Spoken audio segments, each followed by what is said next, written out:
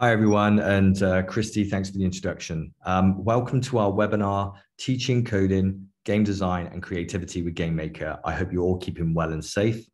Today, we're going to look at the different methods of teaching GameMaker at different stages as students progress through their education. So to the agenda, we'll start with a brief overview of GameMaker and then look at the approaches to teaching game design, including feedback from our teachers following a survey we did in November 2020. We will will then look at the different approaches taken for different student age groups. And for each age group, we will move on to the challenges brought about by COVID and how to adjust to home learning. We'll look at the approaches to licensing and privacy, including the licensing support we, we are providing to schools during the COVID, and then finish up with a Q&A and how to get your free license. Before we get to the educator resources, I'd like to provide a brief overview of GameMaker Studio 2. First developed in 1999 for use in education, it's an easy to use 2D game making tool. Being 2D is much uh, is important for learning because it removes much of the complexity associated with 3D and allows for faster progress. Drag and drop, or you'll hear me refer to it as D&D, um, uh, for no code development. So students firstly understand the fundamental building blocks and then they can, progress, uh, can progress to coding when they are ready, letting them progress seamlessly without hitting a wall.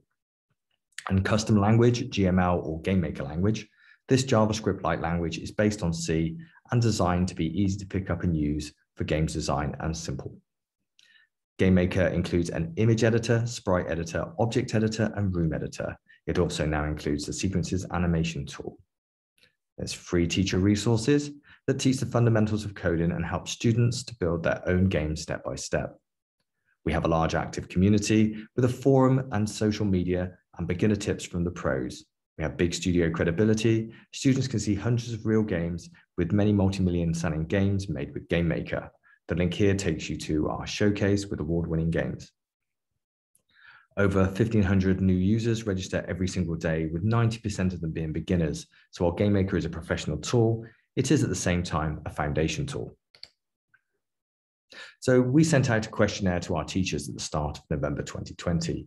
The responses are consistent with when we asked the same questions back in 2019, with planning, individual confidence, and learning engagement all scoring more than 75% when it comes to being rated somewhat effective or better. When we asked, how effective are games design lessons at teaching the following, you can see the positive results on the slide. And one interesting one there is the student teacher bond is uh, well over 60% into 65%. I'm often asked what age GameMaker is taught at. Today, we're going to look at approaches taken broadly at ages 12 to 14, 15 to 16, and 17 plus. Here's broadly how teachers approach the teaching of game design from a survey of educators who use GameMaker. As you can see, the teaching of GameMaker is very hands-on, so it suits kinesthetic learners. This is probably why we hear that students who struggle to engage in other areas of the curriculum are much more motivated to engage with GameMaker game design lessons.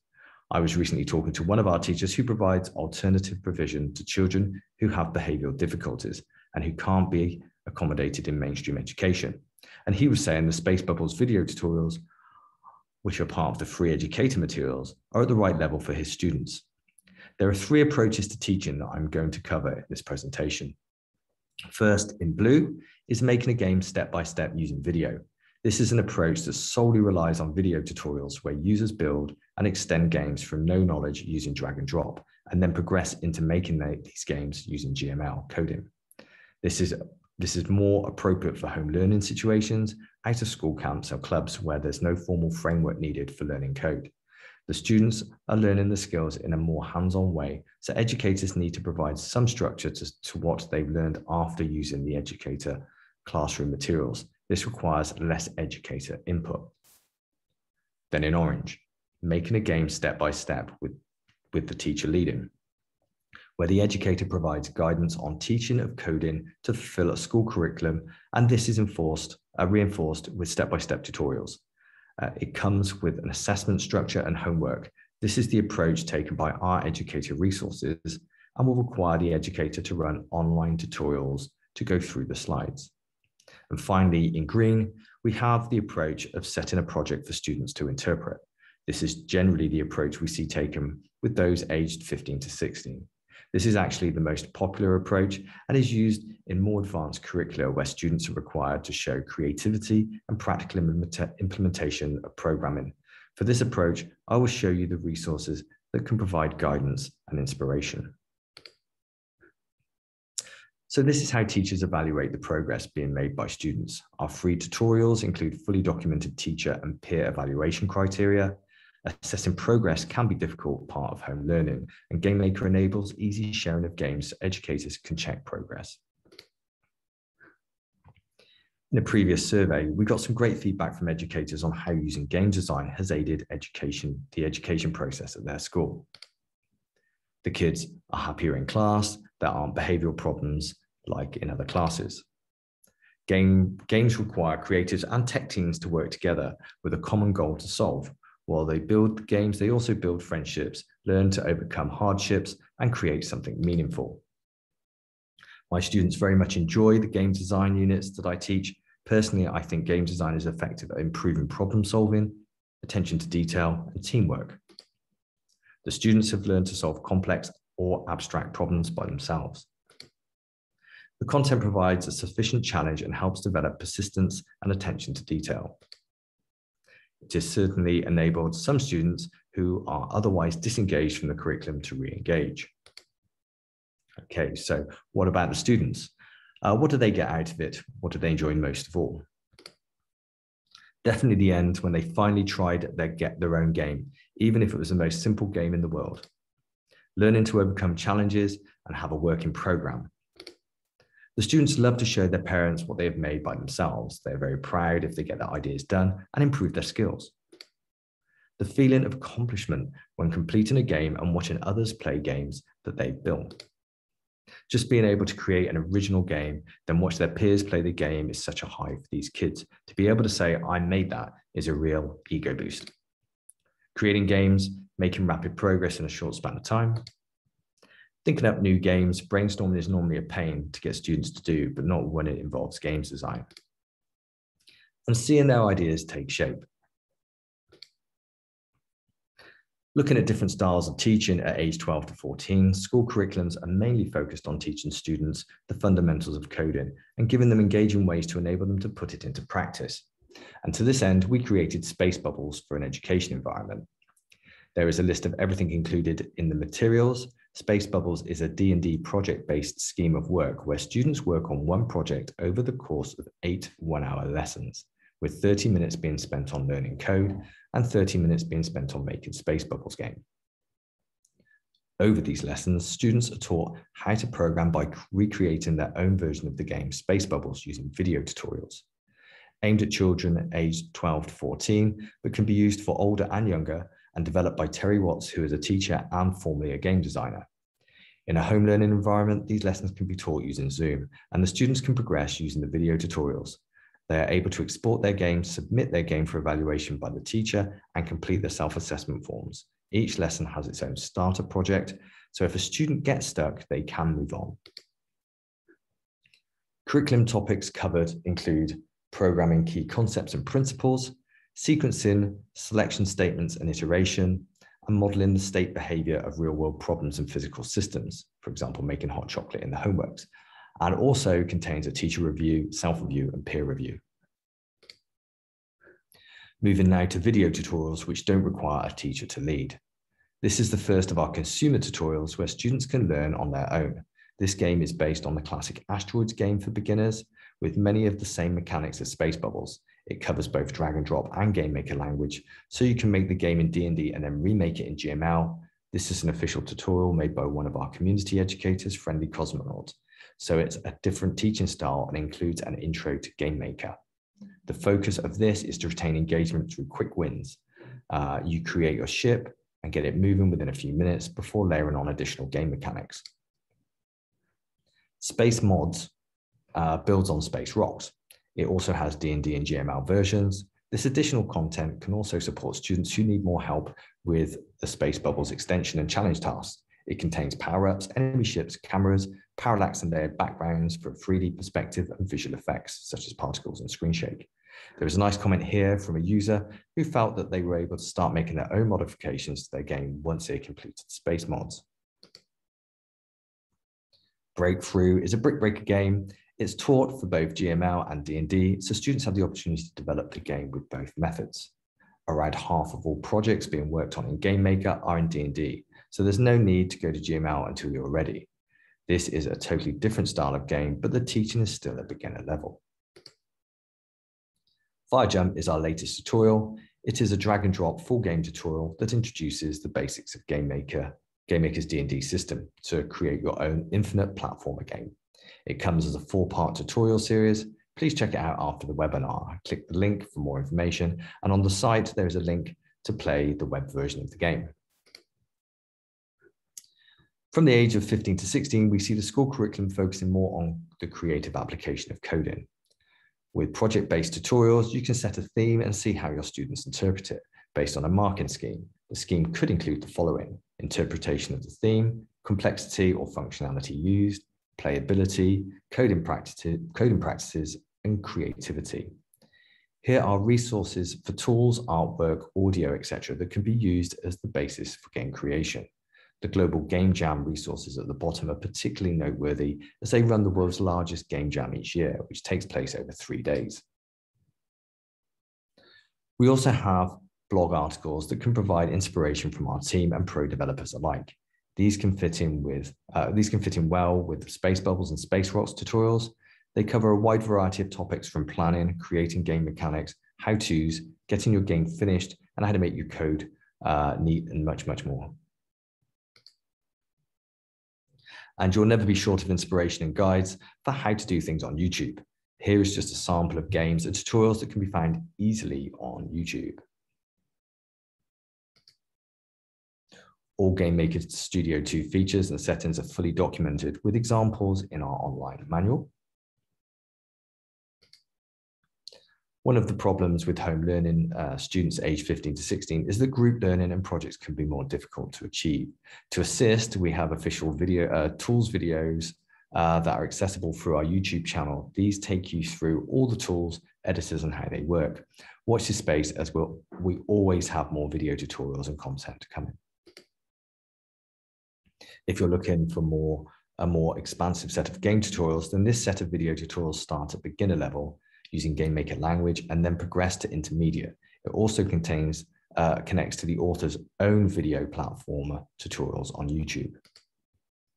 And this is Shaun Spalding's platformer, which links to ours and contains a further 27 videos on YouTube.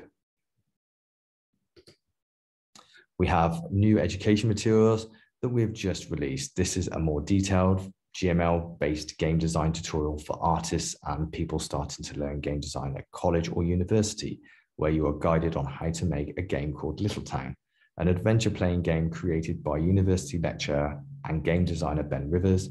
Ben teaches game design for the Faculty of Design at OCAD in Ontario. These materials include a detailed booklet and video tutorials, which students can use to make the game in eight one hour lessons. There are about nine hours of video we also provide guidance for educators on how to teach it and how to evaluate progress. Little Town utilizes more advanced functionality within GameMaker, including our sequences animation functionality. All licenses provided have access to sequences. For older students, age 16 plus, there is also the facility to, for them to engage with our community for help with their projects using our forum we have three types of licenses available, and these can be purchased through Studica. Educator, which is desktop, Educator Plus, Plus that contains the desktop exports and web.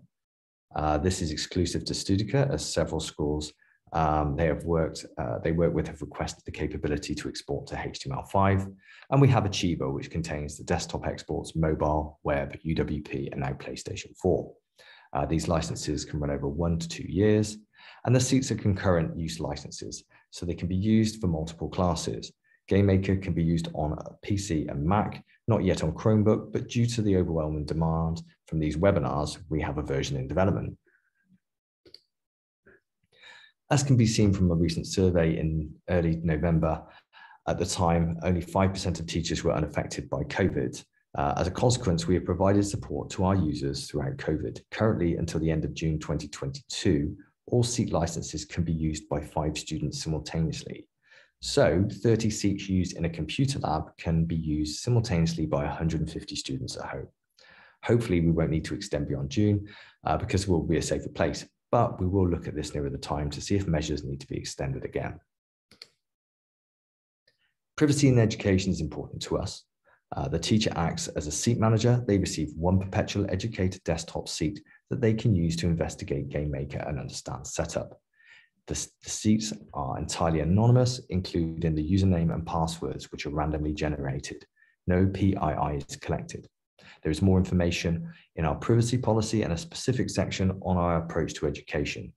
We are also approved for use by educationframework.com. As a thank you for attending our webinar and making it to the end, you're eligible to receive a free teacher license. Uh, Christy will send you a link or click on the button when, you, uh, when we send you the slides for step-by-step -step instructions. And uh, any questions?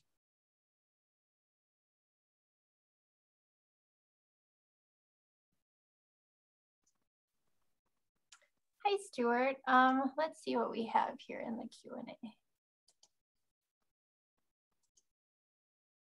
Um, as a teacher, I think we kind of covered this, but if we're looking to set up a program and get the teacher up to speed and what kind of support materials would they use?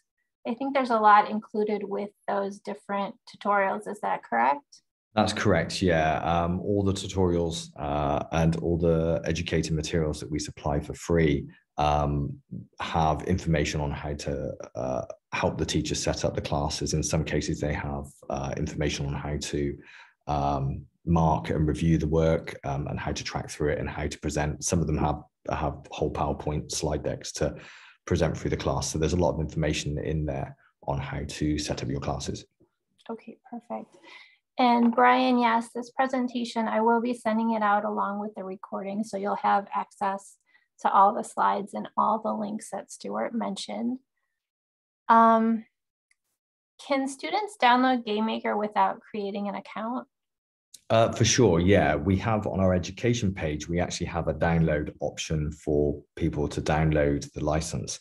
Um, that works. The student can download the license, but they can't run it until they use the username and password that's created by the uh, seat manager, the, the teacher. Okay, perfect. And um, can the seats also be used for different after school activities? Yeah, for sure. So, for example, if a school has a computer lab that has 30 uh, computers in and they have 30 GameMaker licenses on those computers, um, they can be used during the day for classes and uh, for after school classes. That's not a problem. Perfect. And I think that's the end of the questions that we have. Okay, so I'll hand over to you now, uh, Christy. Okay. I just wanted to thank everyone for joining us today and thank you, Stuart, for this presentation. Um, if you need any information on GameMaker, if you have questions, if you want a quote, please contact us at Studica. We'll be happy to help. Um, you can email us at info at studica.com or you can simply just reply to the email that I send to you for, you know, with the recording and other information. And other than that, thank you so much and enjoy your day.